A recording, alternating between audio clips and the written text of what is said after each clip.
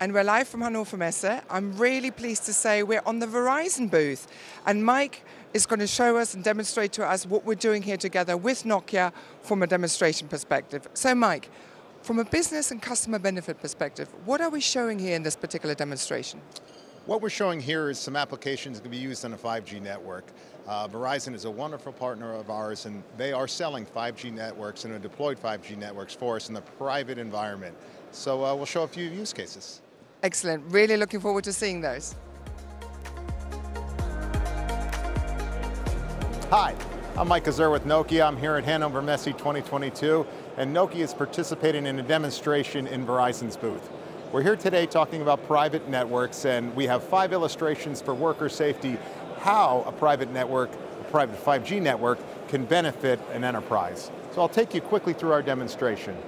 Our first worker safety demonstration involves video analytics for a worker. In this particular case, we have this worker here with the yellow vest. His yellow vest is equipped with a number of sensors. It's equipped with a wind sensor, a temperature sensor, a geosensor.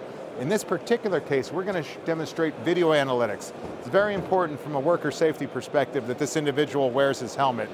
With many cameras supported by a private 5G network in an environment, in an enterprise environment, we can deploy video analytics to show that this individual has removed his helmet. And when that happens, he's alerted that he's removed the helmet. And furthermore, if he doesn't replace his helmet, he can, be, he can receive a push-to-talk uh, discussion from his safety desk. So that is our first demonstration. Our second demonstration is a worker in a mine environment. As you can see, many workers go to a mine environment, and in mining, there are certain areas where individuals are qualified to work. Uh, for safety reasons, for qualification reasons, they're relegated to those areas. Here we're demonstrating a geosensor on the vest over a private 5G network where it would contain a person in a certain geofenced area. If that person were to leave that geofenced area, an alert will be sent to him, as well if he doesn't return to the area, his safety desk can do a push-to-talk discussion with him.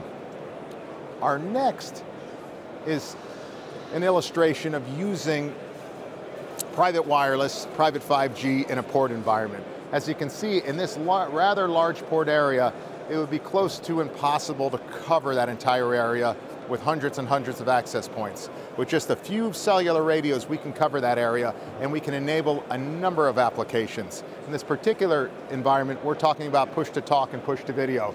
However, it could be anything from scanning, uh, productivity, asset tracking environment. It would be very, very, very helpful to have full ubiquitous coverage across a port environment.